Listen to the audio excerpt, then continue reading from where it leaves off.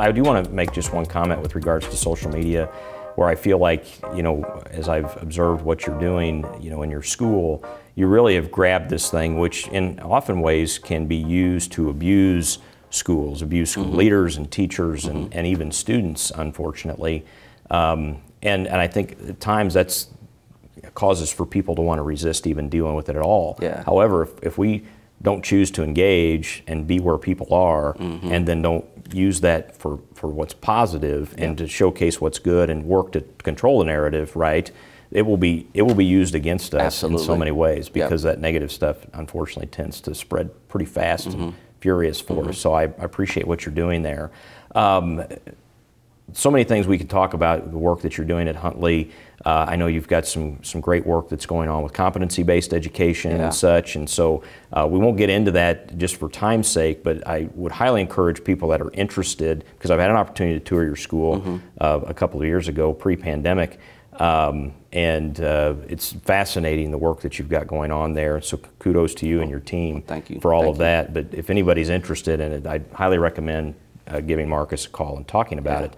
But do want to discuss uh, before we get into more association related things and you know, you being president this year, our first black president yeah. as an association, our 50th anniversary yeah. as an association. So many positive things happening right now at IPA, 6,000 members, I mean, all of that. Uh, but, but circling back to, to Huntley, um, I know, you know, through the pandemic, you worked extremely hard to stay connected to kids. You gave each of your seniors uh, for the 2020 yeah. graduating class their own kind of personal graduation in their driveway. Yeah, that was fun. A lot of videos there. Um, you know, a couple of thoughts here for you. First off, you know, how did you take care of yourself mm-hmm. through that, that time of, of, of, you know, coming off of your first year and then heading into to a, you know, this time of, of intense crisis leadership?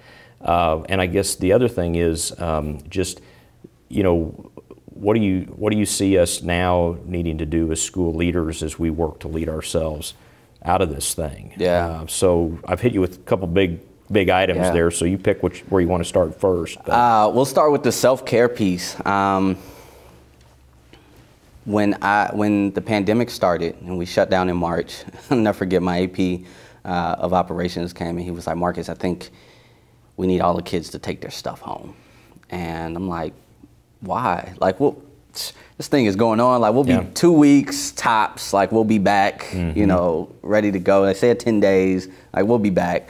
Um, a year later, 15 months later, like, we're still sitting there looking uh, with this thing just close in our review mirror. Um,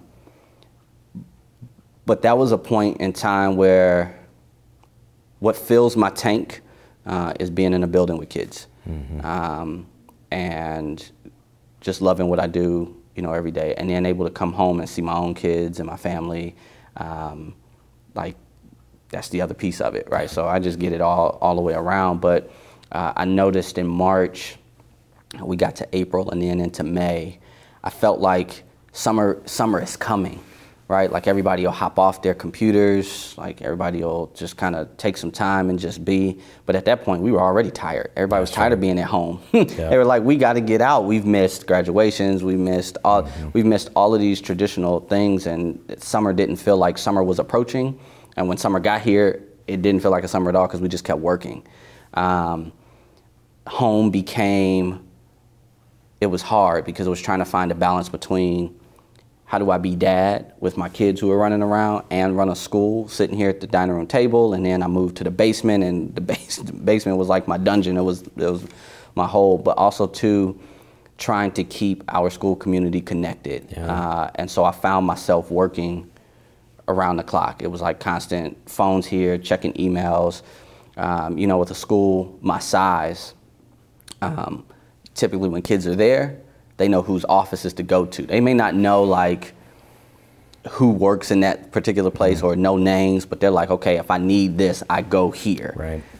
When you're at home, parents have no idea who to reach out to, students mm-hmm. have no idea, so they reach out to the only person they know, and that's the principal. So I was averaging, man, 250 to 300 emails daily. Yeah. I'm just like, yeah oh my goodness. And I'm forward, I had to tell my team, like, hey, I'm gonna forward you all stuff. Mm-hmm. And if mm-hmm. I forward it and it has no message in the body, like just just read it and Deal with it. My expectation is that you answer it. Right. That's what I had to tell them. I was like, we, I've got to share this um, because I was trying to take on too much. I was tired. I was, um, I couldn't find that separation of like, man, I can leave this here and then be with family because my computer was there.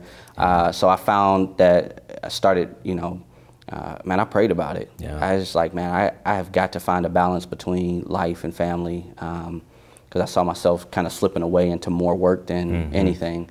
Um, You, so- you mentioned, let me just briefly interrupt you here. You mentioned connection Mm-hmm. here and people being connected. Uh, you know, obviously, you and your wife are strong partners with each other. You've Mm-hmm. got your mom. Uh, but but who, who else, you know, when you think about even professionally, who are you connected with in that way? And, and I asked this question for a reason, Marcus, because recently I was, one of, during one of my early morning runs, I was listening to a podcast with Simon Sinek, and I forget the name of the guest who he had on, but they were talking about measuring well-being and happiness in some other countries, mm-hmm. and they said, or in countries generally, including U.S., but but they said generally they are able to determine people's well-being by two questions that they ask, and that is is is do you have someone if you are in, are in trouble or struggling? Do you have someone that you can reach out to who will be there for you no matter what? I mean, who's on your list for that? The second question that they ask, which is even more powerful, Yeah. is uh, is whose list are you on? Meaning they know uh, that they can call you and say, you know what, that person I know will be there for me no matter what's going on. You know, I'm not looking for you to name names here or anything like that, but but I'm just curious. Uh, you know, who are you? Generally speaking, who are you connected with? How important was that for you when you think about leading during this time? Because I, and uh, part of me is I think about our association and and moving forward and supporting school leaders uh, when we are still dealing with this stressful time. Really needing to emphasize the importance of that. It's how we keep people well. It's how Yeah. we keep people in the profession. Yeah. You know, it's the, it's that uh, it's what I call the inner circle. Um, Yeah, the circle explain that's, that. th- that's closest to you. Um, you know, it's those people who, yeah, you can call and say, all right, look, I have no idea what I'm doing.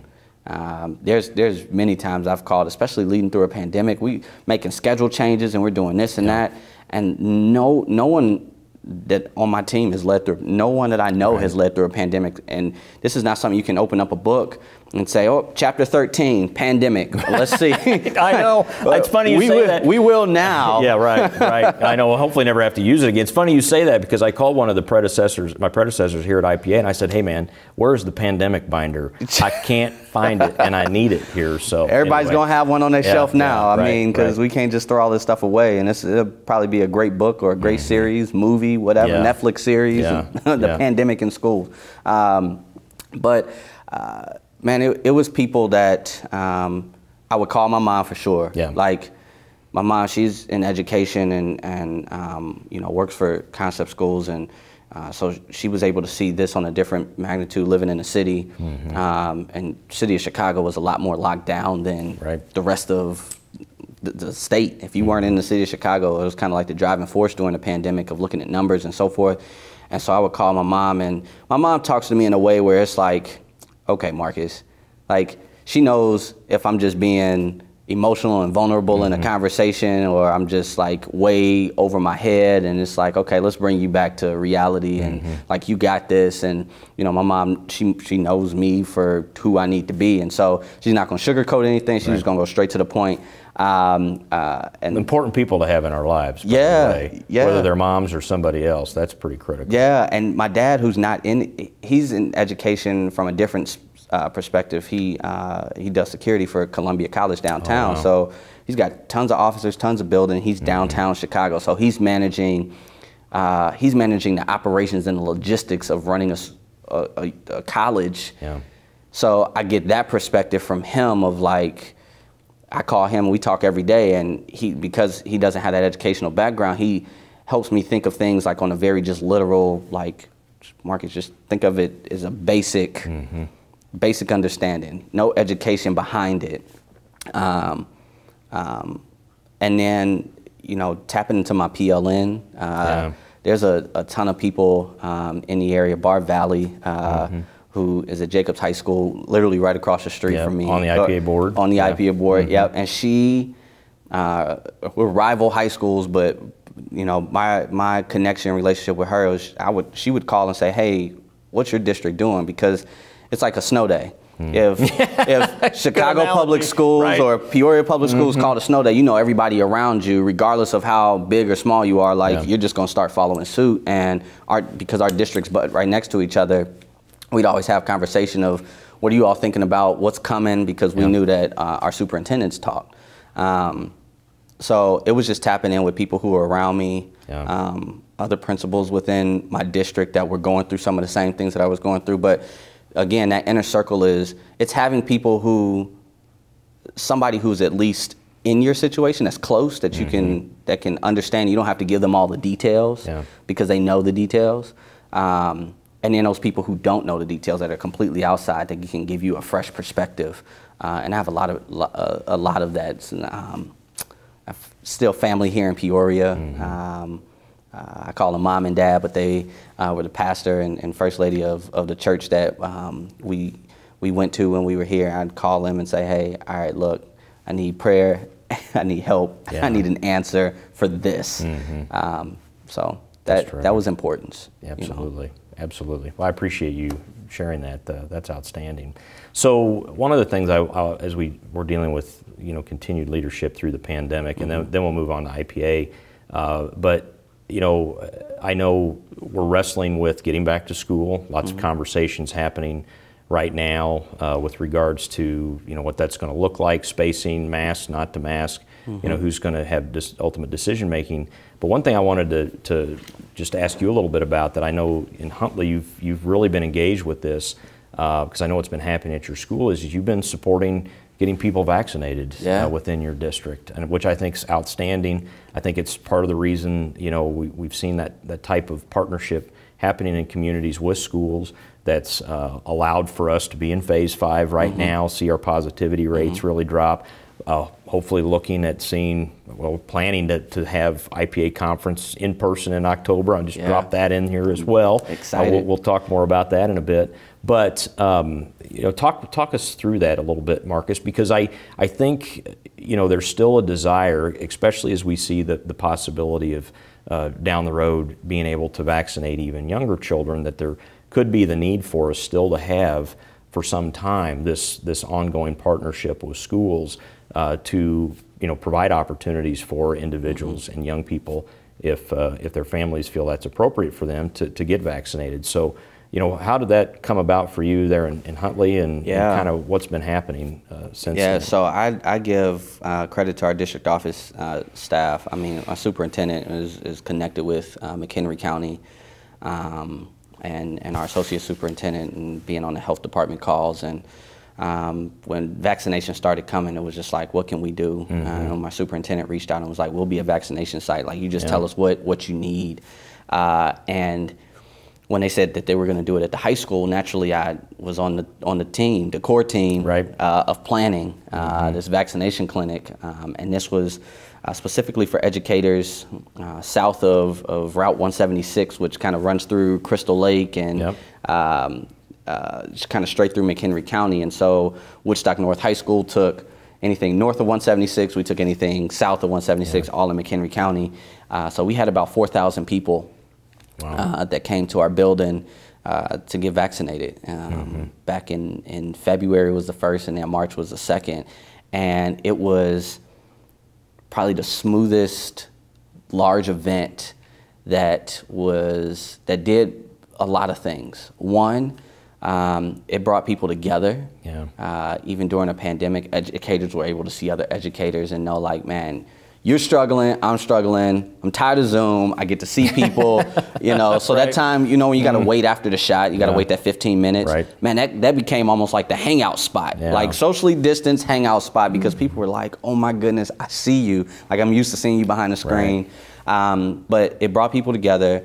Uh, it gave people a sense of, of relief. There were a lot of people who walked in that first day, man, and they were like nervous. And I would be checking them in. I'm like, hey, you okay? Yeah, I'm just nervous. I was like, man, I got the shot. I was the first. I got uh, the first shot that morning at 7:15, and I was moving throughout the day. I'm like, man, I'm doing great. Um, and you know, people who were nervous still, it was a sense of relief. And then after we did the second, uh, the second dose, man, it was like people's reactions and people's understanding of like this thing was like, okay, cool, now this is is behind me. Um, and it was a sense of relief, and I think educators needed that to push them through the rest of the year. Um, um, because their sense of, of anxiety and nervousness about the pandemic had kind of quelled a little bit because they knew that they were vaccinated at that point. Um, we're getting ready to uh, run one here uh, in a couple of days um, at the high school for students who are eligible uh, for the vaccine. So uh, they're getting a Pfizer and they're doing one on the, the, the first shot on the 10th and the next one on the 30th. So do they come with like parental permission slips and, and all that? Yeah, Marcus, so, how does, how does so that process Walgreens, Walgreens is actually doing this one. Um, Okay. McHenry County Health Department ran the last one. Or do they sign up in advance then? Yeah, so it, it'll just the doors will be open, Got right? Um, and and people will be able to come in because the vaccines are very plentiful now. Right. Um, it's just like they're there. Yeah, you know, right. people Just gotta you do it. Just got to go get it, right? And it, it, it's all uh, that internal struggle for people who are like, do I? Do I not? Um, you know, at some point, it. My thinking is like, where do we? Where's the line drawn in the sand of like? Mm-hmm. Okay, we can move. We can say that the pandemic is over. We can move past the pandemic once the numbers go all the way down, or what have you. Um, it becomes a choice, like the flu shot. Yep, right. There's people who don't get the flu vaccine. Yeah. It's like okay, but the world still continues to to move in a circle. Mm-hmm. Yeah. um, um, but kids will be able to come, um, and what's exciting is that uh, because of the timeline of this, like they will be after the 30th. It's still two weeks. Mm-hmm. Uh, before you're like fully vaccinated, and which will lead up until they have one more week then before school starts. Um, so I'm hoping that um, schools can create processes to have kids submit their vaccination cards. We've done that already because Mm-hmm. we have camps going on, um, so that we know, you know, what percentage of our population, and depending on that, whenever we get guidance Right. uh, on what we can do as a school, Yeah, that's right. you know, we'll be ready. Uh, Mm-hmm. And I'm, I'm excited about that, and I'm, I'm sure a lot of uh, school leaders are as well Oh, yeah. because I can't do another year of a of a pan. I can't make eight schedules in a year. Yeah. I can't figure out how to. I can't lead my team and and fig, I can if I had to, but I don't want to Right. uh, lead through another year of just craziness and seeing. Mm-hmm. Um, you know the traditional things of high school Yeah. um, that kids go through the the the, the passing of the torch for uh, from seniors who have graduated on to now new seniors Yeah. or freshmen coming in like those are just experiences that are that are key and monumental to their growth Yeah. um, I just want to see that happen again Agreed. so Couldn't agree with you more.